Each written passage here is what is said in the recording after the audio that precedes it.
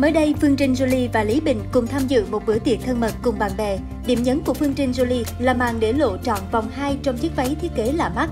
Thời gian qua, cô vẫn thoải mái diện váy áo quyến rũ và nhiều lần mặc bikini để chụp ảnh sống ảo khi đi du lịch cùng chồng và con gái. Do duy trì việc tập yoga mỗi tuần nên Phương Trinh Jolie vẫn giữ được ngoại hình cân đối, không tăng cân quá nhiều và thần sắc tươi tắn. Phương Trinh Jolie tiết lộ mẹ chồng rất tâm lý và thoải mái trong việc con dâu diện đồ hở bạo. Dù bụng đã lớn rõ, nhưng nữ diễn viên thường xuyên mặc váy xuyên thấu, ôm sát để khoe dáng.